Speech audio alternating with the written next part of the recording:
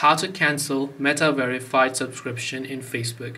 Hey everyone, welcome back to our channel. In this video, we are going to learn how we can cancel the Meta verified subscription on Facebook. So make sure to watch the video till the end.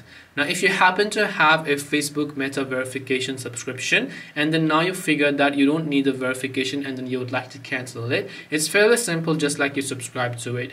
One way that you can do it, you can open the Facebook application here, then just tap on your profile ID or the profile icon from the top left of the screen like this and once you come to this particular page here you should be able to see all these sorts of details where you can tap the three dots option here and then you'll find one of the options here known as meta verified. So tap on meta verified option and if you have a subscription here you will be able to find the option to cancel them.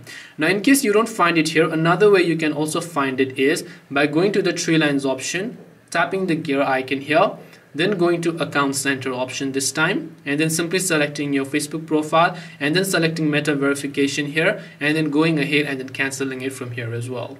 This way you will be able to cancel your meta verification in Facebook. Hope this video was helpful. If you have any questions, feel free to leave them down. Thank you for watching and see you soon in the next video.